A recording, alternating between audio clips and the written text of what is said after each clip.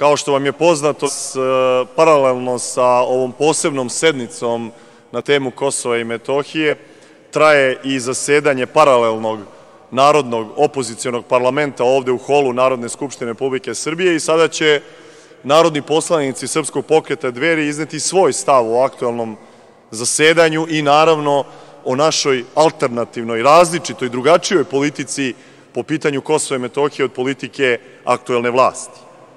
Pre svega da ponovimo ono što je ključna informacija koju nikako da mediji na pravi način predstave javnosti, a to je da jedini pisani trag o poslednjih šest godina tajnih pregovora i vođenja tajne diplomatije i politike po pitanju Kosova i Metohije od strane Aleksandra Vučića dobijamo u vidu izveštaja Kancelarije za Kosovo i Metohiju koju potpisuje direktor Marko Đurić. Dakle, i posle šest godina, posjetit ću vas da je poslednja sednica Narodne skupštine Republike Srbije na temu Kosova i Metohije održana u aprilu 2013. Dakle, posle šest godina jedini pisani trag je izveštaj ne Aleksandra Vučića, ne vlade Republike Srbije, nego Kancelarije za Kosovo i Metohiju, dakle, samo jedne od vladinih kancelarija. Prva stvar. Druga stvar, imate situaciju da ljudi koji su najbliži saradnici predsednika Srbije Aleksandra Vučića u ovim aktivnostima u vezi sa Kosovom i Metohijom su dokazani politički preletači sa sumnjivim biografijama. Od Aleksandra Vulina, koji je bio vedeta jula, a danas je ministar odbrane, preko direktora Kancelarije za Kosovo i Metohiju Marka Đurića, koji je bio jedan od članova otpora, evo ga ulazi u Narodnu skupštinu Republike Srbije, a sada je nekakav pregovarač i poznavalac tematike Metohije, do Petra Petkovića koji je bio praktično u Demokratskoj stranci Srbije i tadašnjoj vladi zadužen za slične stvari. Ono što mi pre svega želimo da konstatujemo kako može predsednik Srbije Aleksandar Vučić da sada usmeno obrazlaže pisani izveštaj Kancelarije za Kosovo i Metohiju. Da li Aleksandar Vučić iznova uzurpira još jednu nadležnost u ovoj državi? Nije mu malo funkcija, već je i predsednik i predsednik vlade i ministar u svim ministarstvima, sada hoće da bude i direktor Kancelarije za Kosovo i Metohiju i verovali ili ne da on usmeno obrazlaže ovaj pisani izveštaj Marka Đurića, a njegovog pisanog izveštaja o tajnim pregovorima i dogovorima sa Hašimom Tačijem u poslednje dve godine nigde nema. Dozvolite da vam nekoliko podataka o aktivnostima poslaničke grupe Srpskog pokreta Dveri navedem u poslednje tri godine. Mi smo jedini ovde predložili rezoluciju Narodne skupštine Republike Srbije o autonomnoj pokrajini Kosovo i Metohije. 14 puta smo je stavljali na, kao predlog dopunske tačke dnevnog reda, svih 14 puta je odbijen. Pet puta poslanička grupa Dveri tražila je posebnu sednicu na aktuelnu temu Kosova i Metohije. Dva puta na aktuelne situacije na teritoriji autonome pokrajine Kosova i Metohija i tri puta na temu međunarodni pritisci na državne organe Republike Srbije u vezi sa pregovorima i situacijom na Kosovo i Metohiji. Svaki put je naš predlog odbijen.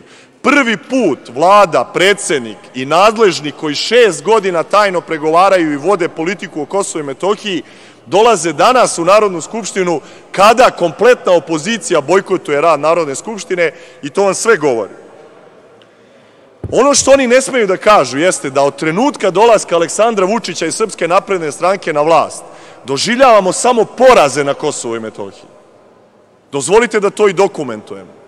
Od sklapanja antiustavnog briselskog sporazuma 2013. godine, naša policija, naše tužilaštvo, naši sudovi, naše lokalne samouprave na severu Kosova i Metohije, sve je predato pod ingerencije lažne države Kosovo, dakle separatističkih vlasti u Prištini i izuzeto iz nadležnosti Republike Srbije. To nije bilo tako dok Aleksandar Vučić nije došao na vlast. Sever Kosova i Metohije kompletno je bio pod ingerencijama Republike Srbije. Od trenutka dolaska na vlast Srpske napredne stranke oni su prepustili dakle nadležnosti države Srbije lažnoj državi Kosovo. Dovoljno je da vam napomenem i podatak u vezi sa bezbednošću kojom se hvale u njihovom periodu. Evo u njihovom izveštaju na strani 8 se kaže, kažu da su oni doprinali bezbednosti na Kosovo i Metohiji ovom njihovom mudrom politikom o Kosovo i Metohiji. Pazite ovo, oni sami priznaju Nad Srbima u pokrajini se vrše gotovo svakodnevni akti zastrašivanja i nasilja, sprovode se brojna ograničenja njihove slobode kretanja i protiv njih se vode fingirani sudski postupci koji imaju za cilj sprečavanje povratka, dalje etničko čišćenje i ugrožavanje opstanka Srba na prostoru Kosova i Metohije. I na strani 12, verovali ili ne, kaže se ovog izveštaja Kancelarije za Kosovo i Metohiju, na osnovu raspoloživih podataka, ukupan broj evidentiranih etnički motivisanih napada na Srbe u periodu od 2014. do 2018. 465 napada na Srbe. Je li to bezbednost koju je obezbedila Srpska napredna stranka i Aleksandar Vučić od njihovog dolaska? I naravno, ono što niko nije preneo, da na poslednjim glasanjima lažne države Kosovo za lokalnim izborima u četiri opštine na severu Kosova i Metohije bilo zabranjeno glasanje državljanima Srbije sa ličnom kartom Republike Srbije. Dakle, kraj. Možete da učestvujete na lažnim šiptarskim izborima samo ako imate lažna šiptarska dokumenta koja izdaje lažna država Kosovo. U saglasnost Srpske napredne stranke, u saglasnost Srpske liste, u saglasnost Aleksandra Vučića, oni su i ranije a sada i definitivno priznali nezavisnost Kosova učešćem na lažnim šiptarskim izborima na severu Kosova i Metohije. Kakvi su pregovarači? Sve što su pregovarali, što je tražila druga strana, oni su im dali. Sve što su oni tražili, a jedino što su tražili zajednica srpskih opština, nisu dobili. Dakle, Aleksandar Vučić je izgubio sve pregovore i poražen u svim dogovora Hašimom Tačijem i Ramušom Haradinajem. Mi imamo najgoreg pregovarača u novijoj političkoj istoriji Srbije kada je u pitanju Kosovo i Metohija. Nijedan dogovor Aleksandra Vučića nije ispoštovan na srpsku korist. Svi dogovori koje je postigao sa šiptarskim separatistima i teroristima isključivo su u funkciji stvaranja nezavisne šiptarske države za okruživanju državnosti lažne države Kosovo na severu Kosova i Metohije i stvaranja Velike Albanije. Zato odgovorno tvrdim da je najveći sponsor nezavisnosti Kosova i stvaranja Velike Albanije Aleksandar Vučić lično. Nema boljeg pregovarača koga su šiptari mogli da nađu u redovima srpskog naroda od Aleksandra Vučića. U svim pregovorima je izgubio sve što je tražio druge strane, nikada nije dobio, a dao im je sve što su oni tražili. To vam je bilans pregovora za ovih šest godina. Stiču se uslovi, naravno, da krene i primjena izmena i dopuna krivičnog zakonika i prvi koji treba da bude krivično procesuiran za kaznu doživotnog zatvora zbog narušavanja ustavnog poredka države Srbije upravo najveći ustavorušitelj u Srbiji danas, predsednik Srbije Aleksandar Vučić. Zato pozivam nadležne državne institucije da pokrenu krivično gonjenje odgovornog i da prvi doživotni zatvor koji će biti praktično presuđen bude upravo Aleksandar za njegovo kršenje Ustava, za predaju teritorije Kosova i Metohije lažnoj državi, za narušavanje našeg teritorijalnog integriteta, kršenje Ustava i, i, i veleizdaju.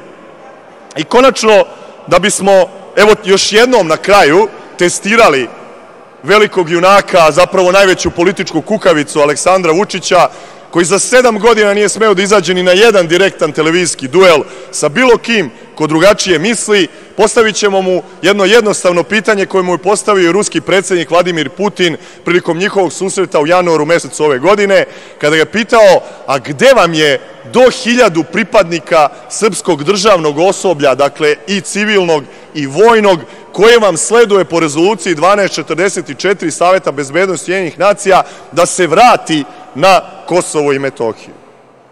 Da za ovih šest godina vlada u kojoj je bio Aleksandar Vučić ili on sada kao predsednik nije tražio povratak do hiljadu pripadnika srpskog državnog osoblja na teritoriju Kosova i Metohije. I to vam je najbolji dokaz da zapravo sve ono što se radi u ovih šest godina jeste lični dogovor između Aleksandra Vučića i Hašima Tačija. Sve ostalo je pozorišna predstava koju zajednički režiraju ova dva koproducenta za okruživanja šiptarske države na teritoriji automne pokrajine Kosovo i Metohija. Ako je Aleksandar već takav junak i ako će već danas ovde satima da srbuje i ponovo glumi patriotu, pošto su mu propali trenutno njegovi izdajnički planovi o razgraničenju, onda neka prekine ove lažne i katastrofalne pregovore u Briselu, neka vrati temu Kosova i Metohije tamo gde je mesto u Savet bezbednosti Ujedinjenih nacija i neka pozove Ujedinjene nacije da omoguće povratak do hiljadu pripadnika srpskih, dakle, državnog osoblja na teritoriju Kosova i Metohije. I konačno da vam na neki način i pokažem i dokažem kako se odnosi ova vlast prema onome što se ovde danas dešava. Danas je predstavnicima opozicije i konkretno Srpskom pokretu dveri zabranjeno korišćenje svih sala Skupštine, onemogućeno da ovde primimo delegaciju Srba sa Kosova i Metohije, zabranjeno predsedniku opštinske organizacije Dveri, Goran Janoviću iz Gračanice, da učestvuje na ovoj konferenciji za medije i generalno onemogućeno da se uopšte održi paralelni parlament opozicije u bilo kojoj skupštinskoj sali i da ovde mogu kao gosti da dođu poznati srpski intelektualci, akademici i Srbi sa Kosova i Metohije koji bi govorili drugačije od aktuelne vlasti. Goranu Stojanoviću zabranjeno je da uđe u Narodnu skupštinu samo zato što drugačije misli od Aleksandra Vučića, Srpske napredne stranke i Srpske liste. Zato ćemo mi, poštovani prijatelji, iz znaka solidarnosti sa njim, da izađemo ispred doma Narodne skupštine, da tamo pružimo podršku Goranu Stojanoviću, da pozovemo i vas da nam se priključite i da on ima priliku da vam se obrati na kraju naše konferencije za medije ovde ispred Doma Narodne skupštine Republike Srbije, gde ćemo naravno biti spremni da odgovaramo i na sva vaša pitanja, a i da dočekamo predsednika Srbije i nadležne ministre sa jednom porukom koju smo pripremili za njih. Hvala vam na pažnji, molim vas da nam se pridružite u znak solidarnosti sa Srbima iz Gračanice, kojima je zabranjen ulaz jer nisu deo Srpske liste, jer nisu deo podrške ovom izdajničkom režimu Aleksandra Vučića. Hvala još jednom svima.